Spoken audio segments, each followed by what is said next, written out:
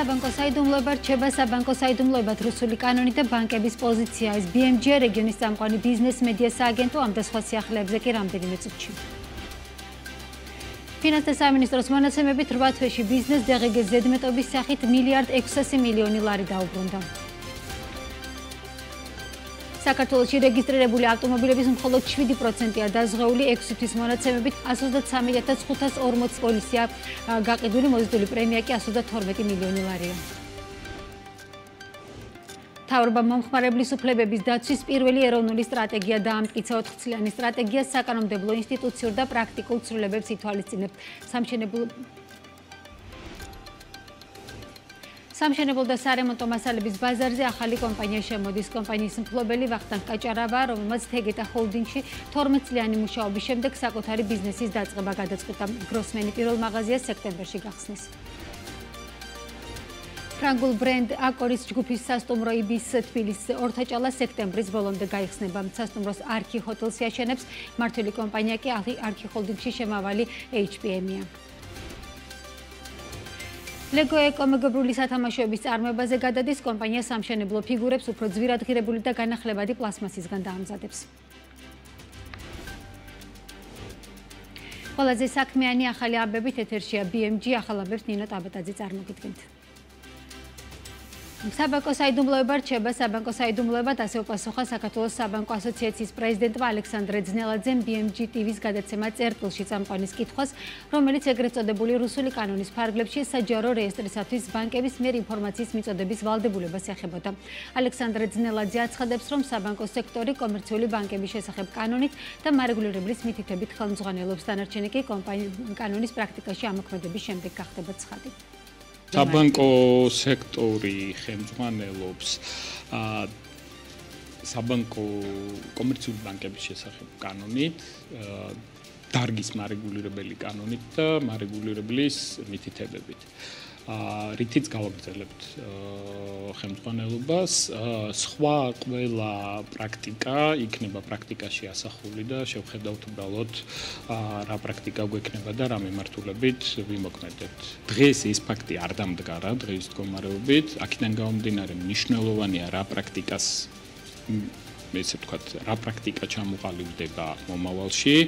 ა ეს კითხვა მესმის რომ ძალიან ცხელი არის, მაგრამ ამ კონკრეტულ შემთხვევაში გონია რომ ძალიან კონკრეტული პასუხი გაგიცით, რომ დღის მდგომარეობით ხელმძღვანელობთ კომერციული ბანკების შესახებ კანონით, ან 31 აგვისტოდან ჭავჭავაძების ისტორიულ მამულში წინადლის მე-6 კლასიკური მუსიკის ფესტივალი მიმდინარეობს, რომელსაც ტრადიციულად სილქნეთი წარადგენს. ლევანდელ ფესტივალზე 9 დღის განმავლობაში 17 კონცერტი გამართება და მსმენელის წინაშე კლასიკური მუსიკის უცხოელ და ადგილობრივი შემსრულებლები, ასევე მსოფლიო ვარსკვლავები წარდგებიან. როგორია წინადლის ფესტივალის ლევანდელი პროგრამა და რა სიურპრიზები ელის მსმენელს, ლიკა მეგუთნიშვილია წინანდალში. ლიკა, მოგესალმები, რითია გამორჩეული წელს ფესტივალი.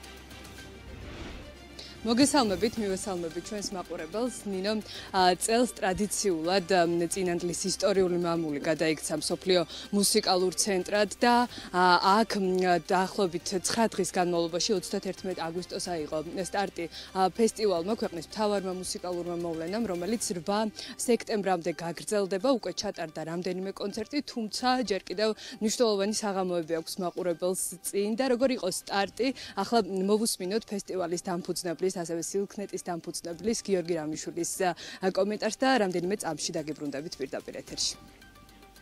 უკვე მე-6 მე-6 წელი არის ეს ფესტივალი არის მოგეხსენება და აი ეს ხარისხი, აი ეს ესე ვთქვათ, ეს ხარისხი შემსრულებლების თვითონ ამ ფესტივალის შინაარსი ის რომ ესე ვთქვათ გვიჭირავს აი ეს დონე ეს ხარისხი ეს ძალიან ბევრ ამას ამის თქმელია მთელ სოფლიოში ძალიან დიდი ვარსკვლავები უკვე ბევრად უფრო ადვილად და ბევრად უფრო სიამოვნებით მოდიან და გვერდდებიან და ეს წლევანდელი წელი ამის ძალიან თვალსაჩინო მაგალითია. სამშვიდობო მესიჯი გზავნილი აი ესეთი ფორმით, როგორიცაც რასაც ქვია პანკავკასიური ორკესტრი, ეს ჩემი აზრით უნიკალურია და ამას ასევე დიდი მნიშვნელობა აქვს.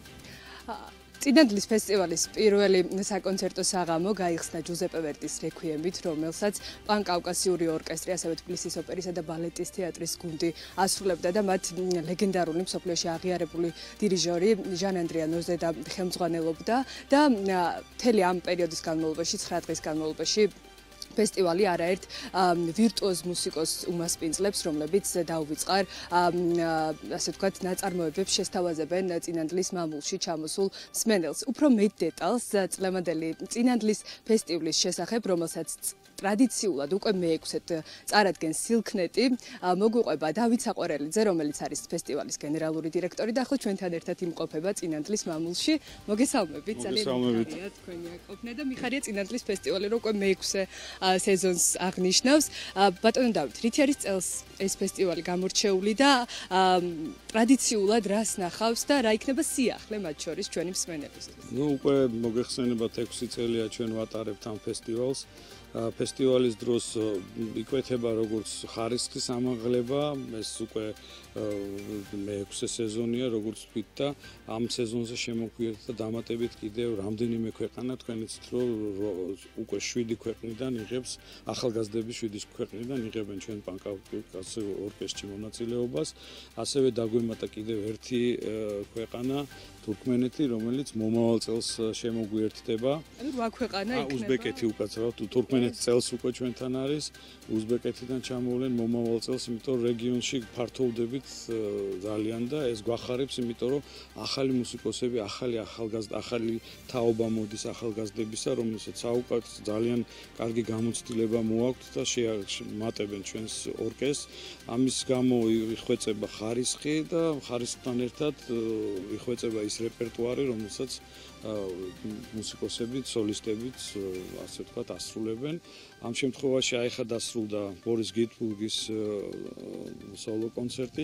საღამოს 7 საათზე დაიწყება კამერული მუსიკის კონცერტი და საღამოს 22 საათზე დაიწყება მიხელ თუმანიშვილის სახელობის თეატრი მოვიწვიეთ. მათი ძალიან კარგი სპექტაკლით ზურა გეწაძე არის რეჟისორი მელოტი მომღერალი ქალი და ეს ეჟენ იონესკოს პიესა გახლავთ, იმიტომ ძალიან იცი ჩვენმა ევროპელმა მაყურებელმა ძალიან კარგად იციან ეს პიესა, ასე რომ თეატრიც დაგვემატა, შარშანაც გუნდა ნინო კასრაძე იყო უკვე ხო მონოსპექტაკლით და წელს ყავს თეატრი ალბათ გაგრძელდება ეს იმიტომ რომ პირველად ჩვენ რეზო გაბრიაძეს თეატრი მოვიწვიეთ ამან ისეთი სტაბეჭლობა მოახდინა ჩვენს მაყურებელზე რომ გადავწყვიტეთ თეატრების ასე ვთქვათ პატარ-პატარა ნელ-ნელა შემოგვეპარები. ტრადიცია გახდა ეს ფესტივალი. ნელ-ნელა უკვე ტრადიციის მიღმა უკვე თეატრის. მუსიკის მიღმა გახდა ეს ასევე დაემატა გამოფენები, ჯიფსონ ხუნდაძის გამოფენა ჩატარდა და ეხაც მიმდინარეობს ჭავჭავაძეების სახლ-მუზეუმში. და ასევე ძალიან გვიხარია რომ პირდაპირ ეთერში ვართ რამდენიმე ქვეყანაში. და ეს არეალი როგორია ის უნდა მეკითხა აი მაგალითად მაგალითად სადღაც 40000-მდე მაყურებელი ყავდა ავსტრალიიდანაც კი ანუ ეს რადგან ციფრულია და სიტყვით აქვს ამის საშუალება რომ ციფრულად გადავცეთ ჩვენ პირდაპირ ეთერში. მედიჩი ტივის პლატფორმით ანუ ესა კლასიკური მუსიკის ყველაზე დიდი პლატფორმა იქ მეშვეობით ჩვენ ზუსტად ვიცით რა მაყურებელი რატომღაც აი ეს ამერიკაში ყავს ძალიან ბევრი მაყურებელი და მსმენელი. არ ვიცი ეს დროის გამო თუ მათი კულტურა ამ სმენის ამ სტრიმინგის პლატფორმების გამოყენების საშუალებები უფრო მაღალია. ალბათ ამას მივაწეროთ ეს და ნაიც გვიხარია რომ ფართოდ ჩვენ ყავს დელეგაცია ოფიციალური გერმანიიდან. ასევე 20 კაციანი დელეგაცია არის თითქმის ყველა გერმანული ასეთი მუსიკალური საზოგადოების ხელმძღვანელი. ამ შემთხვევაში არიან ალტერ ოპერის ეს ფრანკფურტის ოპერის რამდენიმე თქვა წარმომადგენელი. ასევე შუმანის ასოციაციის ხელმძღვანელები ყავს ასევე ძალიან დიდი დელეგაცია ისრაელიდან. ფაქტიურად ჩვენ ბილეთები ასე ვთქვათ იყიდება ასეთი რაღაც ჩამოსული სტუმრების მეშვეობით იმიტომ რომ ძალიან დიდი ჯგუფებია და იზრდება ჩვენი არეალიც განსაკუთრებულად იმოქმედა ჩვენ წლევანდელი, იმიტომ გვაქვს ესეთი ინტერესი ამ ხალხისგან, რომ მე მგონი ძალიან იმოქმედა ბერლინის ფილარმონიის აქ ყოფნა. ბერლინის მაისში პირველ მაისს ევროპა კონცერტი ბერლინის ორკესტრმა აქ ჩაატარა და ამან გარკვეულად იმოქმედა მთელს მუსიკალურ სამყაროზე ჩვენ აღმოჩნდით ეპიცენტრში, რუქაზე. რაც ძალიან გვახარებს. ძალიან დიდი მადლობა ბატონო დავით. წარმატება თქვენ წინანდლის ფესტივალს და ბევრი წარმატებული სეზონი თქვენს ანგარიშზე. ჩვენ სულ ცოტა ხნის წინ ვესაუბრებთ ერთ-ერთ მუსიკოს, რომელიც უკვე მეორედ სტუმრობს წინანდლის ფესტივალს, ეს არის ჩელისტი ედგარ მორო, რომელმაც აღნიშნა, რომ ეს ფესტივალი ნამდვილად არის მისთვის დღესასწაული და ნახოთ მისი მოვისმინოთ პატარა კომენტარი ამ საკითხთან დაკავშირებით. ეს ჩემი მეორე ვიზიტია წინანდალში. ბედნიერი ვარ საქართველოსში დაბრუნებით და ქართულ აუდიტორიასთან შეხვედრით. აკავრობა ძალიან ლამაზია. ბუნებით ხარ გარშემორტყმული. როგორც არტისტისთვის შესაძლებლობა რომ იცხოვრო ადგილზე, სადაც კონცერტი იმართება, შესანიშნავია. სასტუმროს ნომერი სცენიდან 2 წუთის სავალზეა. გვაქვს შესაძლებლობა მოусმინოთ ჩვენ შესანიშნავ კოლეგებს. ასე რომ შესანიშნავი გამოცდილებაა. რა თქმა უნდა, ასევე ძალიან მომწონს ქართული საჭმელები, ქართული ღვინო და ადამიანები. ამიტომ ძალიან მაყოფილი ვარ. ნინო, წინანდლის ფესტივალი, როგორც უკვე აღნიშნეთ, 31 აგვისტოს დაიწყო და 8 სექტემბრამდე გაგრძელდება სილქნეტის მხარდაჭერით წინანდლის ისტორიულ მამულში. აქ ასევე ხვალ, უბრალოდ შაბათს გამართება სუხიშვილების კონცერტი, იქნება გამოფენა და ფესტივალის ბოლო საკონცერტო საღამოს 8 სექტემბერს დახურავს ლიზა ბათიაშვილი პან კავკასიურ ორკესტრთან ერთად. მადლობა მელიკას, რომელიც წინანდლის მუსიკალური ფესტივალიდან გვერდებოდა.